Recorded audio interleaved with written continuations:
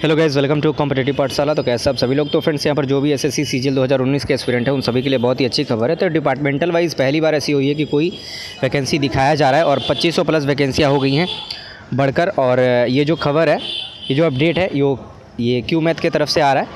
तो और ये जो पीडीएफ है, आप देख सकते हैं डिपार्टमेंटल वाइज देख सकते हैं कितनी वैकेंसियाँ हैं और किसमें और कैटेगरी वाइज भी इसमें दी गई है तो लगभग 2500 प्लस इसमें वैकेंसियाँ जो कि दिखाई दे रही है, वो भी सिर्फ़ एक मतलब डिपार्टमेंट में, ठीक है?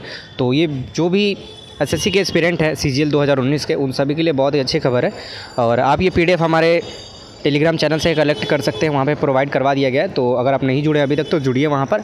और ऐसा पहली बार हुआ है कि कोई भी डिपार्टमेंट अपना जो वैकेंसी है, वो लेकर आई है। हालाँकि पहले नहीं दिखाया जाता टेंटेटिव वैकेंसी एक नॉर्मल सा दस हज़ार या ग्यारह हज़ार ऐसे रिलीज़ कर दी जाती है। डिपार्टमेंटल वाइज पहले बताया गया, ठीक है?